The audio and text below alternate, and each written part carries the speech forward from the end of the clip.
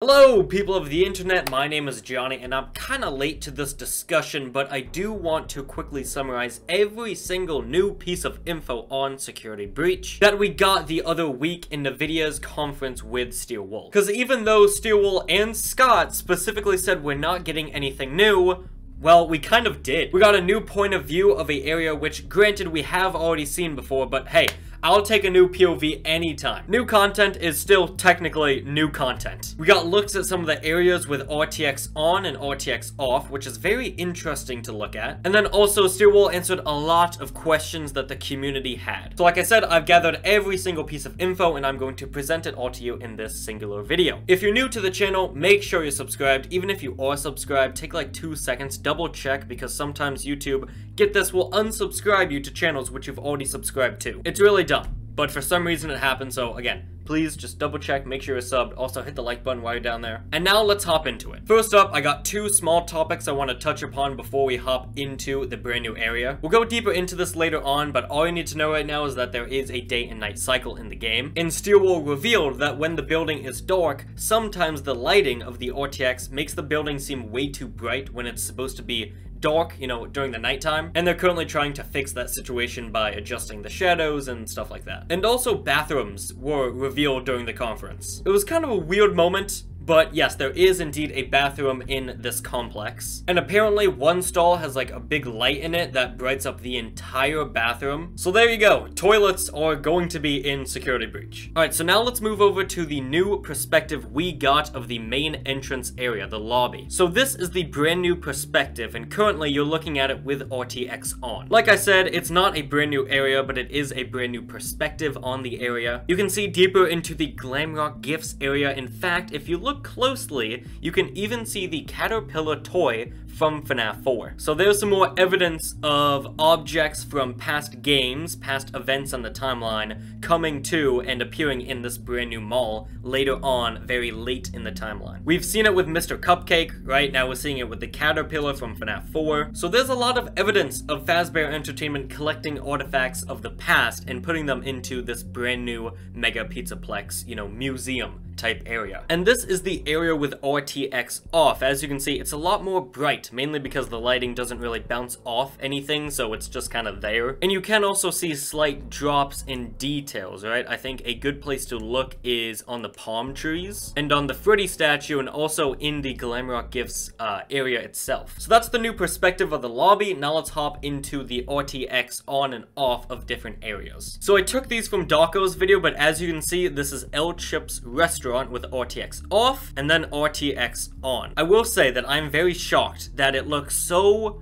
good, still with RTX off. Of course, it looks better with it on, but I'm just, I'm shocked that it still looks this good with RTX turned off, so that is a huge relief. And then we move on to the ice cream area, RTX off, and then RTX on. Again, it's crazy how good it still looks with RTX off. I think notable changes are the balloons, and also take a look at some of the chairs, and then also the ceiling, how the, uh, the pink rod right there of light doesn't bounce off of the ceiling anymore. And now I'm gonna move on to the Q&A part of the conference. We got a lot of new details here, so I'm not gonna waste any time, let's hop into it. First off, let's go back in time to help Wanted, specifically Princess Quest. Someone asked here, well, can we expect an update to Princess Quest minigame in Help Wanted Mobile? there was a locked door that couldn't be opened in some unused assets. Andrew Dayton, who if you don't know is the CEO and I believe founder of steel wool replied with, maybe. So I think it's pretty safe to say,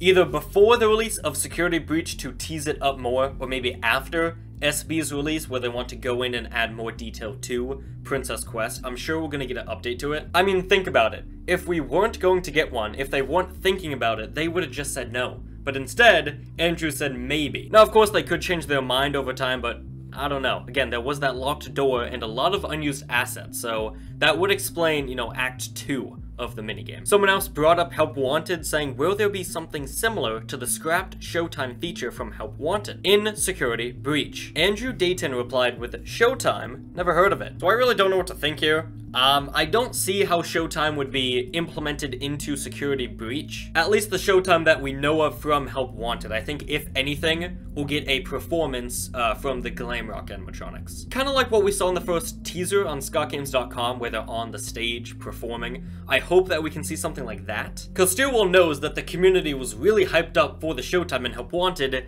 and they even said that maybe they'd go back to it, but no, it wasn't in the game. They never went back to it, but they kept the button. So, I don't know. I hope that we can see a Showtime in Security Breach. So this is what I'm talking about. I can't tell if you guys meant there will be a day-night cycles, or did you mean the lighting for them? Andrew says, without discussing any game-specific mechanics, which lets you know, okay, so the day and night cycle definitely has some role in the mechanics of the game. Presumably either with the aggression of the characters or just the sun and moon animatronic, which we will talk about later. A lot of the locations have two lighting scenarios. A lot so not all of them. I don't know, maybe Andrew means all the locations, but just by the word a lot, that does not mean every single one. Day, which we mean when the location is lit as if the Pizzaplex was fully open and operating, and night, which means when the lights are basically all shut down. And we've seen both of those modes, you know? So just like that, that does indeed confirm that there was a day mode and a night mode in the Pizzaplex. I know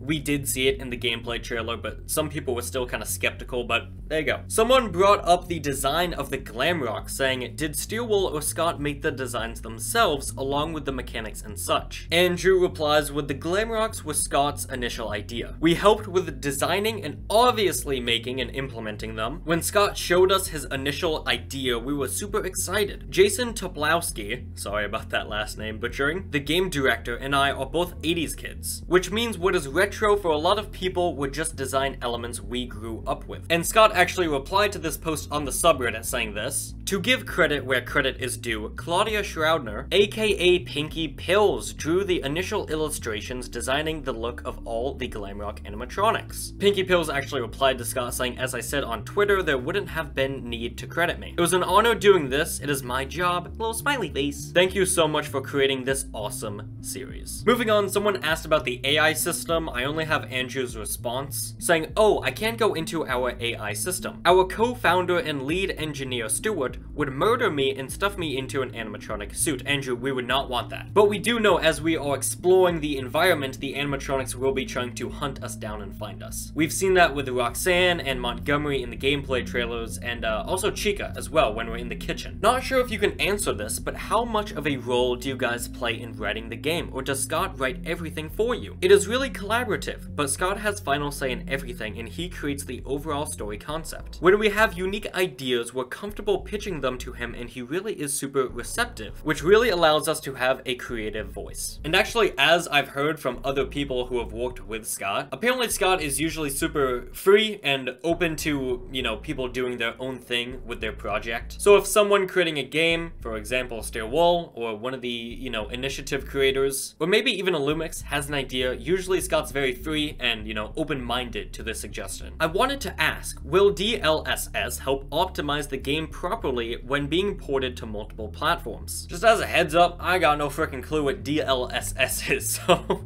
that's all you tech people out there wondering about this. And actually, this is a response from Richard, not actually uh, Andrew Dayton. I'm guessing Richard is maybe more on the technical side of the game than Andrew is. DLSS for now is only on RTX hardware. It relies on the AI tensor cores of a PC RTX graphics card. Yes, mm, yes, Richard, I know, I know exactly what you're talking about. However, the software is evolving in the future we will see. This is a long one. Hey there, big fan of FNAF, and I love what we've seen of Security Breach so far. If it's okay, I'd like to ask a question about the history of Help Wanted. Was there a reason behind switching out the animatronic Spring Bonnie for Malhare slash Glitch Trap in the final game? And will we ever get to have a full look at Spring Bonnie's full model? Andrew, surprisingly, replied with so many good questions, so many secrets I can't talk about. Yeah, so if you guys didn't know, originally Spring Bonnie was going to be in Help Wanted instead of Glitch Trap. I believe he had some asset in the in the game files where he was in front of one of the curtains, and also, I mean,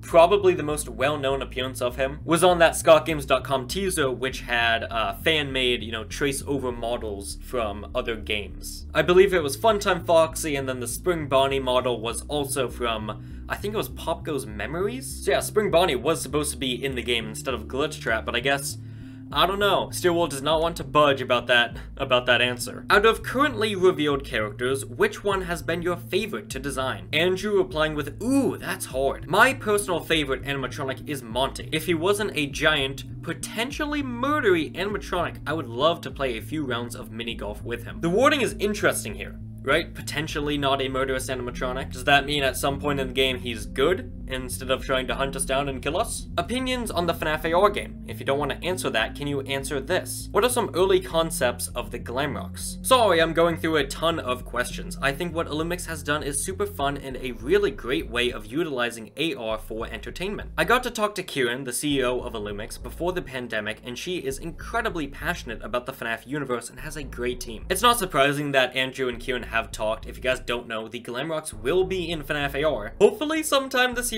because Kirin revealed in an interview that they, again, are coming to the game, but after the release of Security Breach. Also, you didn't answer the question about the Glamrocks. Off-topic question, but what is your opinion on the memes and content around Security Breach? We have definitely shared some of the funnier memes on our Slack channels. We do a little trolling. Hey Andrew, did you see my video? I've made a lot of cool videos. Andrew, have you made sure that you're subscribed to the channel yet? Same thing to all you other people watching, make sure you're subscribed. What was the most difficult glam rock animatronic to model? I'll ask our lead character artist Rodney and try and get an answer for you. Okay, from our character team, Roxy. Which honestly makes sense when you think about it. It's probably all that hair that she has in the back of her head. I don't know why I said it like that, like it was a bad thing that she had hair. So someone asked about the shots that we saw in the gameplay trailer. Because a lot of people were speculating, and as it has been confirmed recently, that it was old gameplay footage, and this is what Andrew had to say. Those shots are a little older, so they don't have final lighting or set dressing. I believe the playground area, there it is, was the least polished of the locations. I'm happy that this was asked, because again, the whole community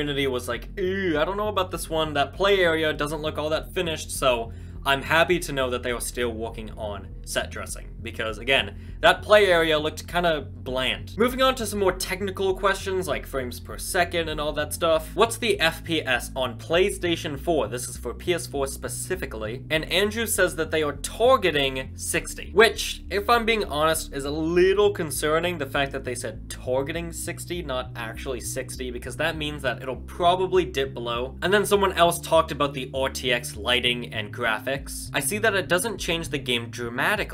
I'm glad because I probably wouldn't have been able to play it on my PC, but I should be fine. It looks amazing even without the RTX, you have done a really good job. Thanks for the positive feedback. We're optimizing the game to be compatible for machines without RTX cards as well, so hopefully you won't have a problem playing the game. Smiley face. And that's from Kai, so that is very good to know because a lot of people will not have RTX cards that will be able to handle the lighting and graphics for the game. So that is very, very, very good to hear. And this next response also builds on that, saying despite all the efforts towards implementing RTX GI, will you still work towards making no RTX look as polished as possible? This is also Kai again, absolutely. Just because RTX is an available technology, we know that a lot of people won't have access to RTX cards. We want them to have an excellent experience too. Moving on to some other questions, we have a very interesting one is there an official name for Moondrop's daytime counterpart? Andrew, the big man himself, saying not officially. There you go, boys. He also didn't dismiss the fact that Moondrop is the name of the moon animatronic, so I, am taking that as official. As for the sun counterpart, which I, I don't know, is that does that mean that they're the same character or not? Apparently they don't have a name yet, which is interesting because, I mean, you're pretty far into development. But who knows, maybe the community will come up for a name for them and then that will just be their official name. Kind of like what happened with a uh, what, Glitch Trap and the Freddles and Golden Freddy. What is the difference in scale between Help Wanted versus Security Breach? If Help Wanted was a piece of pepperoni, Security Breach would be the whole pie. A Freddy Fazbear Pizza Plex pie, of course. So that is insane. that, like, this game is huge And and Andrew had to say that. That is absolutely insane. This game is going to be so big, the biggest goddamn game in the franchise, it's going to be amazing. This is interesting. I had no clue that I wanted to know this, but now I'm so happy that I do know this, you know, piece of FNAF fact. Who came up with the idea of Dreadbear? He looks really cool, so it'd be interesting knowing a bit about how he came to be. It was a creative idea we had at Steel Wool, and we pitched it to Scott. We had a few different names that we pitched before we settled on Dreadbear. So that's interesting. I would assume that they pitched the entirety of the Halloween update, the Halloween DLC to Scott then. And if you didn't know, the original name of the Curse of Dreadbear was The Rise of Frank and Freddy, I believe. Moving on to some more Princess Quest, we have Will Princess Quest remain a mobile exclusive, or will it ever come to other devices in the future? Wasn't Princess Quest some kind of glitch thingy? I swear someone hacked that into the code. I love you staying in character, Andrew but I'm really curious about the answer. I really do enjoy Princess Quest. I think it's a fantastic minigame, and I would love to see it go to other platforms. But unfortunately, Andrew staying in character. Did Scott give you a comprehensive knowledge of the FNAF lore when you started working with him? Or does he only tell you what he needs to? If I told you what Scott told us, he would send an army of killer animatronics after us and ain't nobody want that. Yeah, so we can assume that they know maybe quite a lot about the FNAF lore. What was the hardest thing you worked with while making the game? Was it the human models, the animatronic models, big props, or smaller props? Andrew says the scope. We dream big and Scott was your crazy, go do it. Which is just, is so good to hear. You know, Scott is so open. He's such a neat and cool, amazing dude. If Andrew's like, yo, Scott, I want to do this very poggers thing, and Scott's like, hey, yo, do it, bet you won't. And Andrew's like, Anyways, that's all the info I have for you today. A very long video. So thank you so much for sticking through the entirety of the video. If you watched to the end, again, I've said this like three times at this point, but make sure you're subscribed. We're getting pretty close to 20k. You know, I think we're at like 17.1k. It would be great to get to 20k. So thanks for watching, and I'll see you all on the flip side. Goodbye.